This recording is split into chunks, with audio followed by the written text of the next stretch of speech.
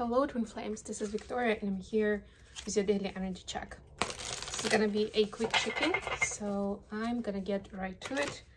And I'm gonna start with an oracle deck. Today is the Spirit Junkie Oracle from Gabby Bernstein.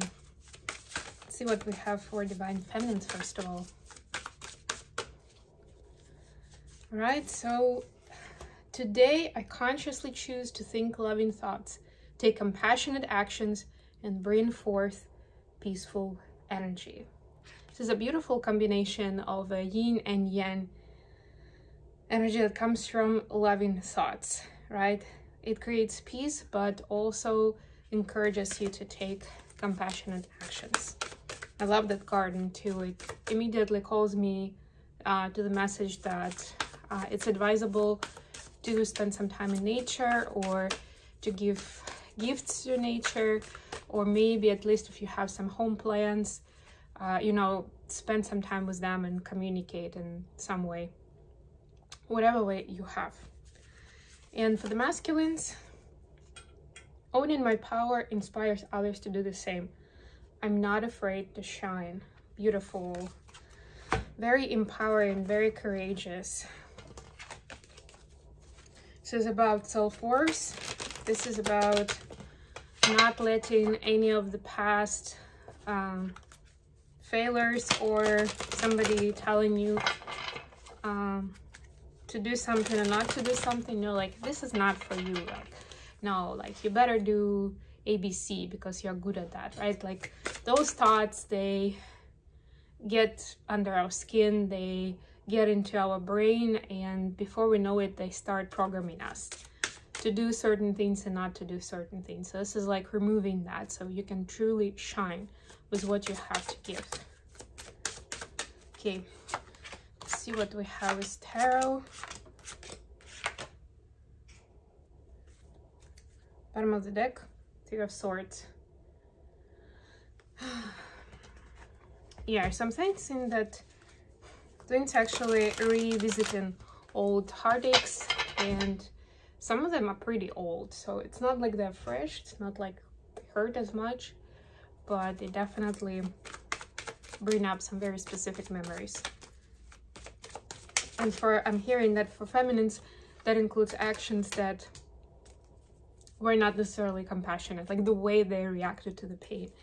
And for masculines, it uh, put a demon on their power and they didn't feel as strong as masculine as potent as they could have. Yeah, 10 of Wands, you see? So there's like that oppression energy uh, connected with the with those past heartaches. But right now, twins actually, like the reason this is brought up is the twins are realizing of how much of the connection it was between the two. And they're like, um, no, that's that stops now. Not happening anymore. This was a bunch of BS. So like this really was just that one person that said that and you know what? I'm putting that behind me. And sometimes it's all it takes to be very conscious about that realization about that thought about that decision. Feminines you have eight of coins clarified by ten of cups.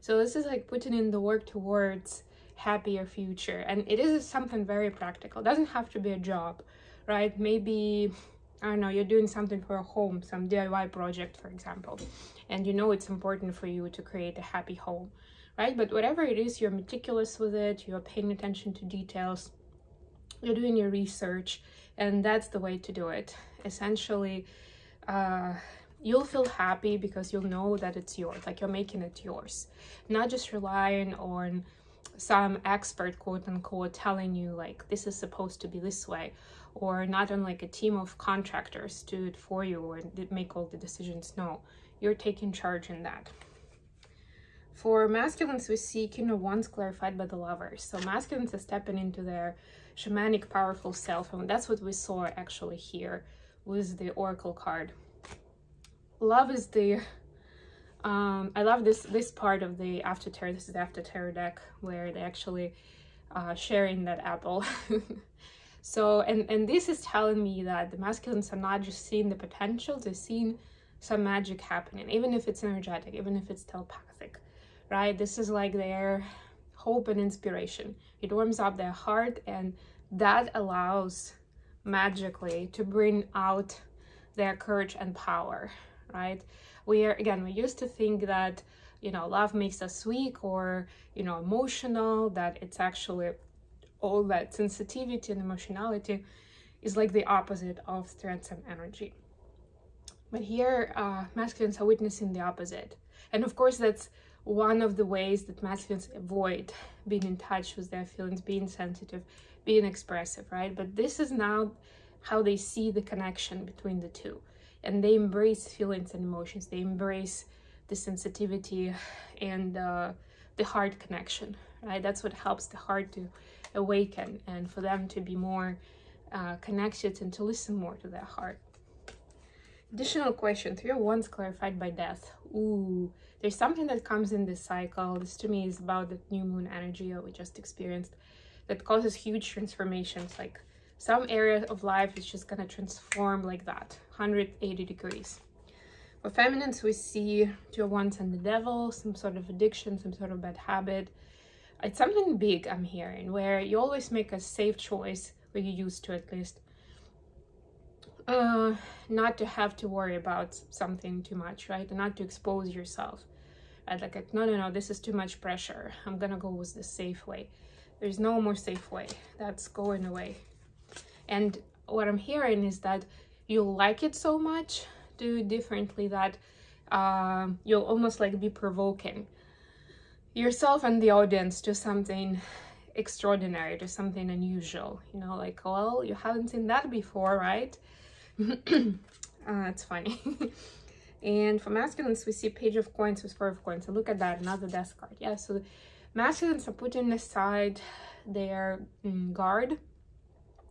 And this is to be kind, to be able to kind of more openly give and receive without thinking about it too much up front, without uh, thinking like, oh, well, uh, but I can't give everything of myself because you know i'll have nothing to keep or you know this person is just gonna use me and leave and what am i gonna stay with? Something along those lines right? So this is but i'm getting although we see pentacles here. Again this doesn't have to be money. For somebody it might be uh, but for others it's more like uh, attention and time and you know energy essentially right? Like uh, opening up basically. Like by giving energy you are making an offer into a person right? And so this closed up energy the stingy energy was the energy. Energy was the energy. The stingy energy is going away. And this cycle masculines are becoming a lot more open because they feel more secure and safe and that's how it then manifests into their behavior how the feminines feeling about masculines right now, how do they see them. Six of coins clarified by two of cups. Beautiful, beautiful. Is that uh, fairy tale energy, you know, with the equal give and take. Uh, and somebody is like, yeah, you see like somebody is putting, like right now the scales are not equal, but somebody is making an effort. So they see masculines making an effort to want to have like equal give and take, to be equal partners. So it's not just the feminines being invested and doing the work and being open-hearted and offering love. They see the masculines are making effort as well with this happy ending concept in mind. Even if they're not successful yet, you see like the scales are not equal just yet. They're not balanced, sorry, just yet. But it's happening, they're making progress. That's what the feminines can see. Masculines towards feminines, the magician and knight of swords, but this is like slaying the dragon card. So they see how much more the feminines are becoming in sync and in touch with their inner strengths and giftings, right? How they don't want to uh, be too concerned about what somebody's thinking. They also don't want to be too concerned with somebody coming along uh, to meet them halfway or not, right? Like, they're like, okay, you know, I'm too busy for that stuff. Like, I've got like serious things happening here. I'm creating my own reality. I don't have time for like whoever, you know, is too shy, is too closed off to talk to me, to ask me out, to, you know, be together, like whatever. you know, I have much bigger fish to fry kind of energy. Oh, I love this. really cool. And it looks like as we are in mercury retrograde it's actually bringing out more ideas and more opportunities for uh, working on yourself. And that's that's how it's supposed to be right? And that helps you define how you then want to communicate with others. Because when mercury goes direct in the first of jan then it will open up the doors and the gateway and of course the new year's energy to invite people into your life to connect on a deeper level on a more authentic level too. And looks like twins are getting ready for that. Okay i'm gonna leave it here. I love you guys. Thank you so much for joining me today. Hope this message was useful for you. Don't forget to like share and subscribe the video. And in the meantime